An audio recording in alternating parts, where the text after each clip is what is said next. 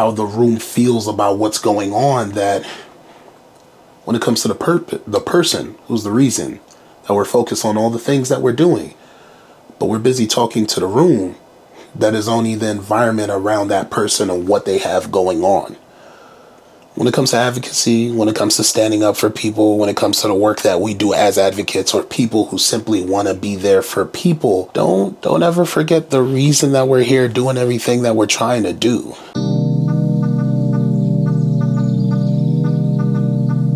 What's up guys? It's your boy Juice Jones back with another episode of Housekeeping and what do you guys know about advocacy? And when I say advocacy, I don't mean something you're paid for. I don't mean something that's a position on Indeed.com or any of these other, you know, websites. When I say advocacy, when someone tells you, hey, stand up for me, or someone says, I feel I'm not supported, and you decide to either be that person's support or be that person's voice in the room that they may not be able to speak for themselves or they may need a second voice that reinforces what their concerns are. How do you guys think about advocacy? So the reason I asked this question is recently partner got a surgery. Um, been together a little bit under four years or so, and they deal with a lot of different things: fibromyalgia, endometriosis. The list goes on. So within this time and us getting closer, I came to realize that this person may need someone in their corner to voice when it's time to say yes, voice when it's time to say no, or just stand in the back and exist. But there doesn't always have to be a decision that is made. So the reason advocacy is important to this story is the folks who came with us, they were great moral support and great emotional support, but I saw a couple of holes in terms of how people were operating and I came to realize there's so much more everyone around us, myself included, could do so much better. A lot of folks aren't coming with a list of, hey, what should my concerns be?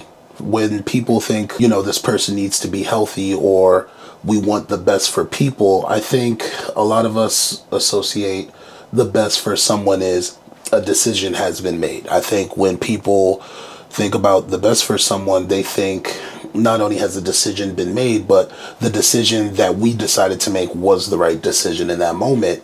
And when it comes to that, I disagree by a long shot. Now, the reason I disagree and the reason I know this isn't the case is because before coming up to the surgery that we sat through last week, I've had all the hard conversations. And when I say all the hard conversations, I don't think about, you know, what are your concerns that's in front of you right now. I think about the what ifs. Hey, if this goes wrong, how would you like that to be handled? Um, if those if this goes right, how would you like that to be handled? Um, let's say you're asleep under the knife and someone comes to me about a concern because I am your primary voice of, hey, we have to do this. Do we have your permission or not? How would you like me to handle that? And the reason I say this is because when it comes to people that have known you for a long time, whether they be longtime friends, longtime parents, and longtime parents sound weird, but there is a system where people are sometimes consistently going in and out of people's lives. We assume as being the long term or the long time relationship, we know what's best for the person but a lot of us aren't meeting the people where they are now in terms of their traumatic experience, in terms of their great experience and the things that they've learned to love that are no longer who they used to be, or in terms of if I want to live a life that is happy, these are certain things that I don't want people to change, especially when either we're close to the finish line or there's a certain complication and it's don't move forward with whatever the suggestion is until I wake up and I have an opinion and I think about what we should do with my body going forward, which that's the point and the purpose. It is this person's body and this person's autonomy. And, you know, as a family and as a friend, a lot of us tend to think with our hearts and we just want to get this over with, but sometimes when it comes to the person's position, it's not simply getting it over with. It is the concern of I have to live with this body and the body I'm given, I'd like to have an opinion on it if I have the freedom to do so. And we shouldn't be in such a rush to get to the finish line or make a decision or figure out what's next. When it comes to advocacy, especially when it comes to surgery, especially when it comes to just showing up for someone, before being super excited for the results or being super excited for what has been accomplished and everyone showing up, when the main focus is the person, the first question you have to ask is, hey, how do you feel? Talking to the person, hey, are you okay with the results of what has happened? You know, hey, if these aren't the results and there are setbacks, you know, moving forward, what do we as the people that are supporting you need to keep in mind and not we as the people that are making this the decisions for you when you're not able to speak. Now, when it comes to advocacy, there are four rules that I use and I keep in mind when it comes to being an advocate. Rule number one identify the cause. So, when identifying the cause for this situation, first things I think about is we do the follow up with the doctor before you go into surgery or before it's time for you to go under the knife and you know everyone comes they put eyes on you they make sure hey the staff you're working with is solid and we'll be waiting in the waiting room. What we got to think of is was there something else that was suggested that either veers away from the plan or a concern of maybe there's another organ that's going to be affected and there's going to be a lifetime decision of hey if we discover so and so and so and so we may have to remove so and so and you make it clear to your partner or the person that you're advocating in in that situation hey this wasn't what they said in the meeting that we attended. Are you okay with hey if worse comes to worse and they have to remove this are you going to be okay with this particular thing missing no longer being there and then, hey, a question that's just as good. Hey, is there going to have to be medication for the fact that this particular thing is missing now that this person's going to have to take that is already dealing with all these things? Because quality of life sometimes isn't about, hey, can I walk or can I run? Sometimes it's how many medications am I going to have to take depending on the situation that I'm in and what is my capacity as a person to have to take so many things and keep track of when to take things and keep track of the frustration of did I forget? Or keep track of the frustration of did I get my refill? Or keep track of the frustration of hey when you don't have your refill for the thing that you need because you forgot it because there's so much going on in your life what does that affect? And what does my life look like when I forget those things because I'm so busy as a person that has so many things going on? Rule number 2 educate yourself when it comes to advocating for someone, when it comes to advocating for something, we can't just be drivers of passion. You have to be drivers of, all right, now that I'm passionate and I feel strongly about this thing, am I reaching out to people to get the proper education? Am I reaching out to the folks that go through it as to what their experience is that adds on to the passion? Am I reaching out to the people that treat it? Hey, what should I be concerned with in your walk of life or what you've worked on? What have you come across? When it comes to me as a person that's there for you, how can I be there for you for this thing that you didn't have a choice about? And what do you expect from the people that are in your life that have your back that are advocating for you? It, it sounds simple and it sounds easy, but it's very easy to educate yourself to the point that you have an assumption that you have a full understanding of what the thing is.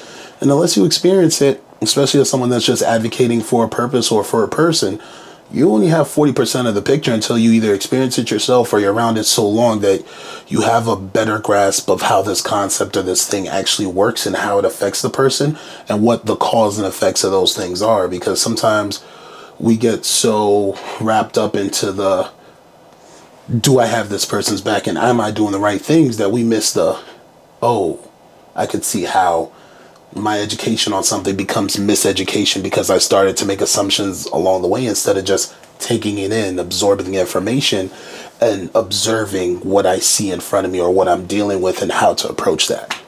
Number three, engage and mobilize. So, when it comes to engage and mobilize, and the reason that those things are tied in and intertwined when it comes to the work that I do as an advocate, I think to myself, all right, now that there's been enough verbiage and there's been enough education, am I handling the thing that we're looking to either fix or support or figure out? And are we putting actions to the promises? When you advocate for something or someone, there's usually a public promise somewhere out there. Like simply, hey, we're looking to get you therapy. That'd be a great example of the work that I do when it comes to get home safe, right?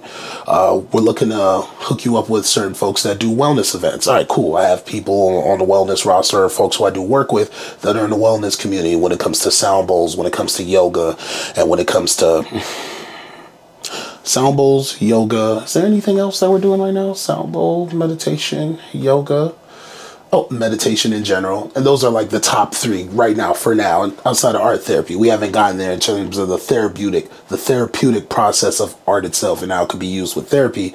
But those are two separate things that we've put together and that we're working on right now. The action to the community on that one is, hey, we promise to give you these things, these samples. Did you like what you see there? Are you going to get it for yourself now that you've had this example of what the thing does or the purpose of what it's looking to do or what that does for you? Hey, boom does that experience bring things in? Another example, actually, of something therapeutic that we've recently been working on the concept when it comes to the in my shoes.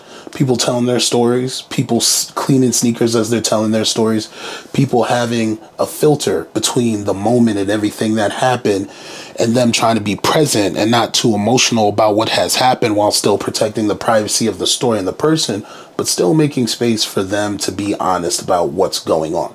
That's the public promise. Hey, you come through, you come on in my sneakers, clean the sneakers, tell your story, face isn't shown. If you want to expose yourself to the public and let folks know you are, that's up to you with too many hints. But if you don't want to, cool, we got you also in the way that it's executed, right? Then after that, everybody goes about their business and they keep it moving.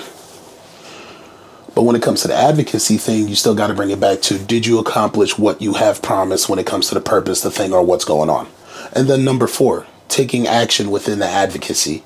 So taking action within the advocacy isn't just, well, I do this, this, and this, this. That's how I have proof that I'm an advocate. No, it's meaningful. It's where is your impact felt?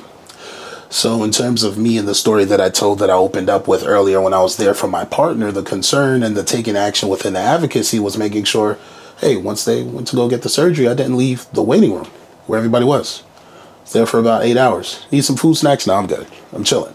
Because the focus is if something goes wrong, be there for the partner.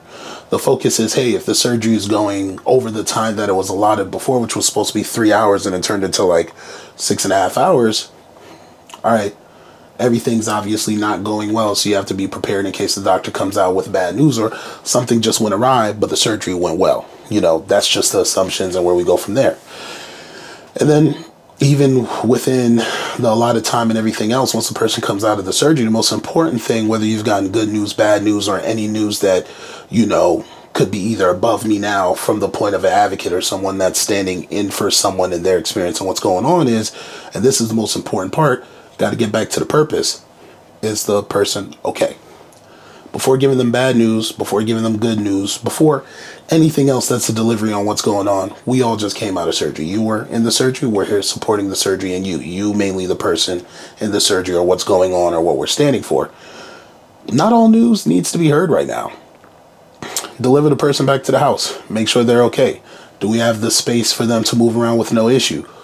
Do we need to be more patient with how they're moving around? Should we have an assumption that their body is going to be sore for hours, days, weeks that they may not have thought was going to be the case when it comes to the doctors and who they've treated and the patient now being in the care of their loved ones, which is me and the family that's come through? And hey, did we prepare everything that we can outside of just the apartment being clean, outside of the spaces being free for them to move around, wiping things down, keeping everything as cleanly as possible, going back and forth, delivering food, knowing what food they can't have right now, especially after coming out of surgery. Keeping in mind that, like, hey, they may want to drink something, but even though their throat is dry, we got to be careful of how much liquid we're giving them, and they have to take their time as they're getting back to who they were. And you have so many things that are adjusting within the body from the surgery. And the reason I bring this up, especially when it comes to advocacy, is there was news that was delivered that was surprising.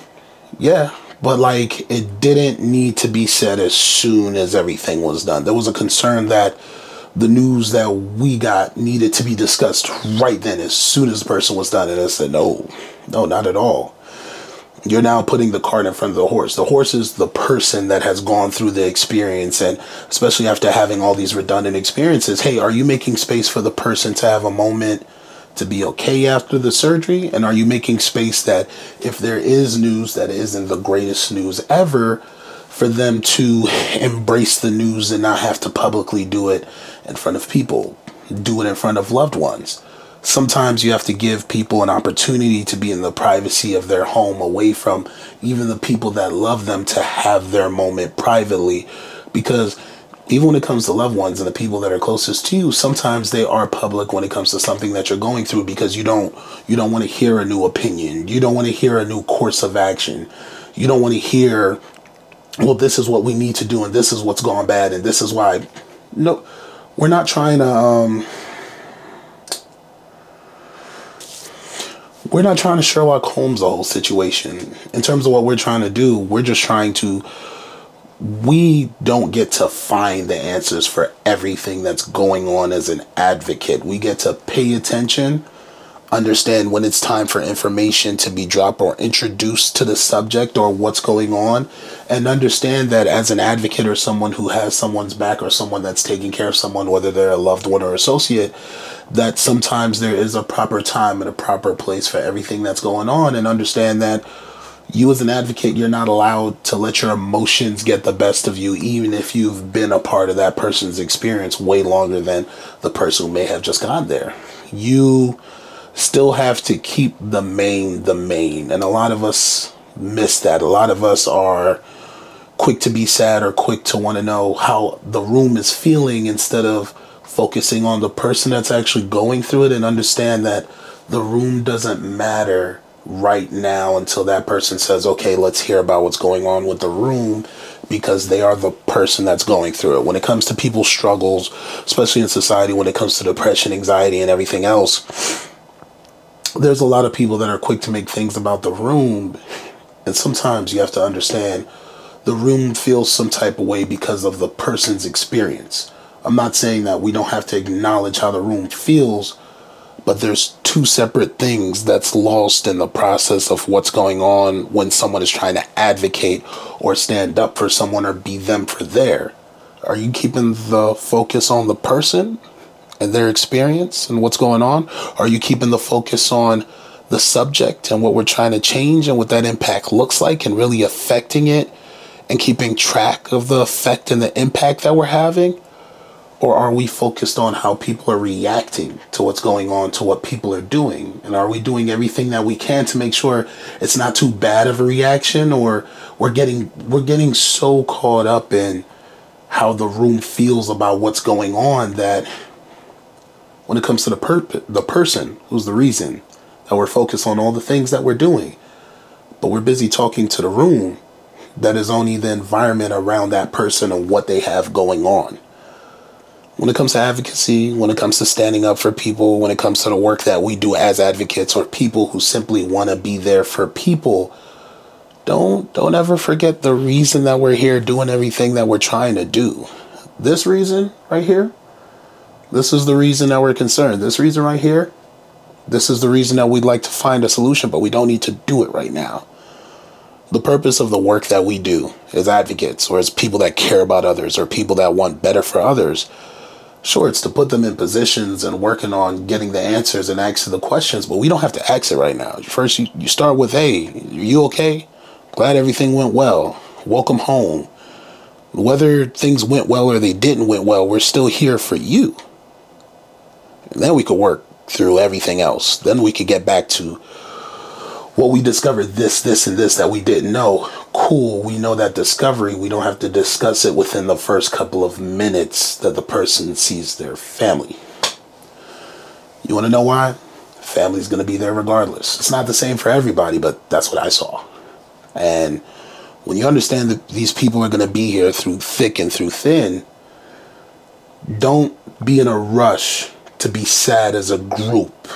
Because sometimes what that does is you take away from the person who needs to have a moment to feel what's going on because instead of them going through what they're going through or dealing with it and feeling supported, you now bury their feelings. You bury their feelings from feelings from here, feelings from here, feelings from here. Those aren't their feelings. Advocacy isn't easy. Being there for someone isn't easy, but it's a choice that you have made.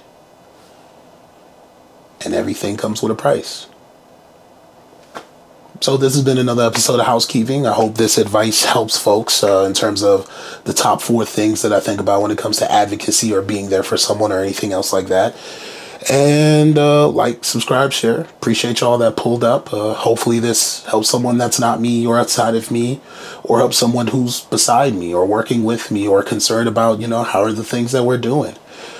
It's your boy Juice Jones again from Get Home Safe. Appreciate everyone who's uh, been supporting us. Oh, also, you know, welcome new 7,000 subscribers. Uh, appreciate you guys appreciating the work. Definitely looking forward to what we bring to life. And this has been another episode of Housekeeping. Peace.